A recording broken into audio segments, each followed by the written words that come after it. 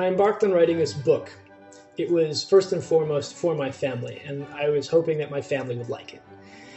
What has been very a very pleasant surprise is that people outside my family are not just reading it, but actually enjoying it and finding it informative. It's giving them a window into a time and a place they really didn't know anything about. Czechoslovakia had some visibility around the world. Prague is a world class city that's very well known for its composers and its artists and its architecture and its writers. Um, Slovakia, there's been very little written about. And so part of what I was trying to do is to make a contribution to the knowledge of Slovakia specifically. It's done in a way that's a little bit unusual. It's a very first person memoir narrative, but it's interwoven with lots of historical references. My father had a very happy, happy childhood. Uh, he loved growing up in Bratislava, but as he became a teenager and sort of started coming of age, he, he realized um, that th- his life was very limited. And he actually, in 1968, with Alexander Dubček's reforms, which became known as the Prague Spring, he had the chance to, to experience the western side of Europe. He went um, to Norway and then to Germany and saw that here is here is a world which he was not allowed to experience before, and it had opportunities that he simply had no access to when he was home in Bratislava, and so he became discontent with life in Slovakia, life in Czechoslovakia. And when he decided to live outside the country, the authorities said he had to renounce his citizenship. That was a pivotal moment for him. He said, if that's the case, then I am no longer going to be a Czechoslovak citizen. And he started an American family with an American wife and raised kids who became completely American kids. Uh, did not teach them to speak Slovak, did not introduce them to Czechs or Slovaks outside of the country, outside of Czechoslovakia, did not um, do anything really to expose his kids to Czech and Slovak culture because it was something that he just thought had no future for him and his family. It was part of his past. Um, so I grew up as a child uh, thinking my father came from outer space practically. I mean, he was from this place I could not go to, um, and I had no real access to that culture. And it was to me, it was completely alien. And anything that I knew about it was was really uncool. um, I knew that I had grandparents there, and I and I knew that they didn't have a particularly free or prosperous existence there. And so for me, that was a place that I was like, okay, you know, not something that's going to be part of my life.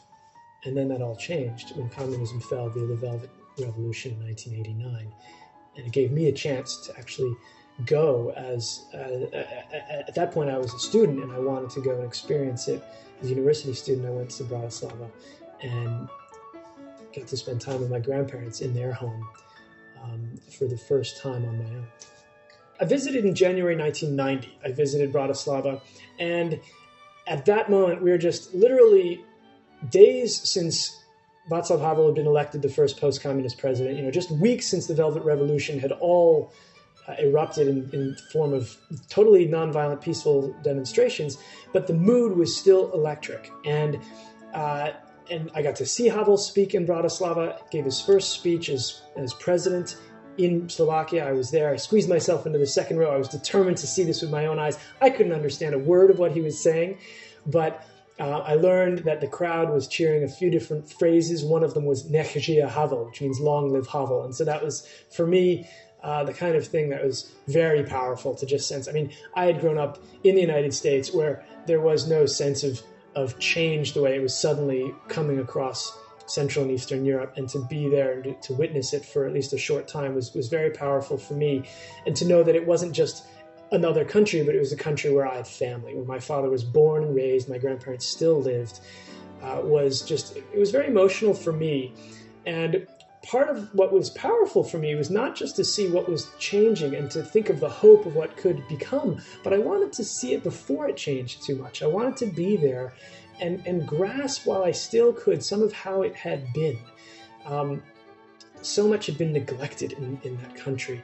Um, you know, things as basic as architecture, as well as infrastructure. And you know, the place was run down. Bratislava was frankly not an, an attractive place to visit um, when I came in January 1990 and hadn't been for decades because of, of neglect.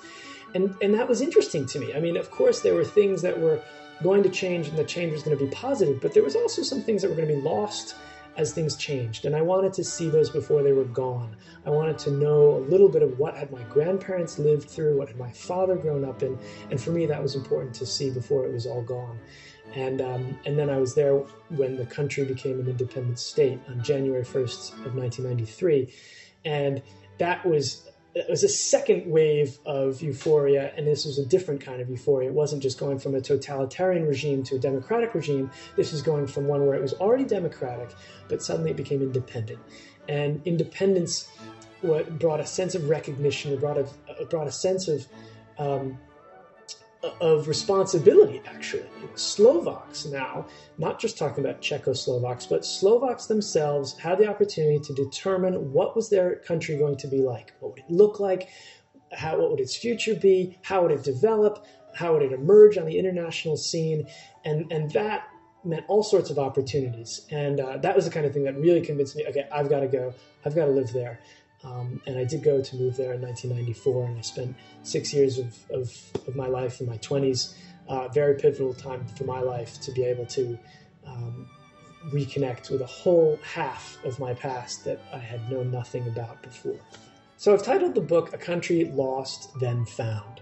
On one level, my family lost its country. My father lost his country. He left Czechoslovakia behind, really turned his back on it um, with the invasion of 1968, the country had gone uh, rotten, really, and and he wanted nothing to do with it. And so it was his past; it was not his future. It was lost to him as far as he was concerned, and therefore lost to his family, to his kids.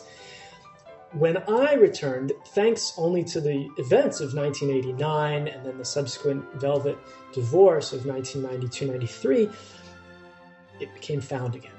I discovered the country. My father rediscovered the country. There's this this place that had been really, as far as we were concerned, literally behind a curtain for you know, decades. Uh, for me, at that stage, it had been my entire life. It had been hidden behind a curtain, and I did not know it. It was it was a place that was lost to me, and I was suddenly the curtain was was was drawn away. I was able to find it. I was able to discover it, and and so for me, that's on one level, how the, the title of the book works is that it's a very personal loss and a very personal discovery. And also, I thought that worked in terms of my story. The book is not just a family story, it's meant to mirror the, the history of Slovakia over the last hundred years or more.